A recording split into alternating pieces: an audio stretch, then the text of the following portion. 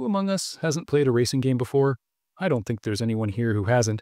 At the very least, you must have watched plenty of videos about them, and surely you've wondered or even wanted to create a game like those yourself. Well, that's no longer just a dream.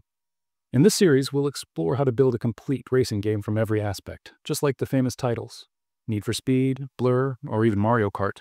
But this time, you won't just play it, you'll learn how to make it yourself inside Unreal Engine.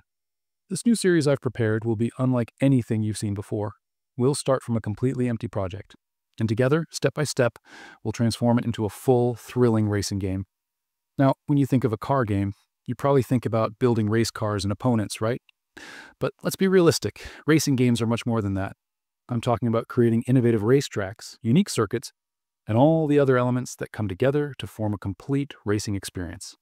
So, in this series, I've designed several steps to help you create a full-fledged racing game.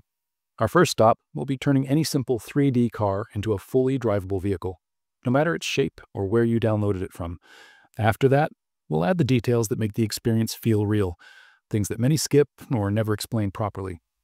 I'm talking about building smooth car movement, precise steering behavior, engine sounds, tire friction, and even brake sounds during skids. We'll also add effects that make the car feel faster and more powerful. I'll explain all of this in detail so that in the future, you can build any racing game you want using this foundation. But what fun is a race without opponents, right? Here's where things get exciting. We'll create smart AI cars to race against. These won't just be cars that move along a spline in a boring straight line. Each AI car will have its own personality and make its own decisions on the track. One aggressive car trying to block you, and another relying purely on speed, just like we see in games such as Forza Horizon. Sounds exciting so far, right? But wait, we're not done yet. We'll add even more elements to make the race intense, a complete dashboard showing your speed, laps, race position, and everything you need to feel the true spirit of a racing game. And although I haven't decided to build this part yet, if I see good engagement, I won't stop at regular races.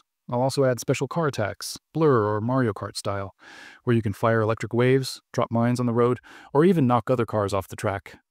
All of that with a damage system and visual effects that make every collision or explosion feel deeply satisfying. The idea is simple. We'll take the fundamentals of realistic racing games and mix them with creativity to build something completely unique. After all, that's what we do on this channel.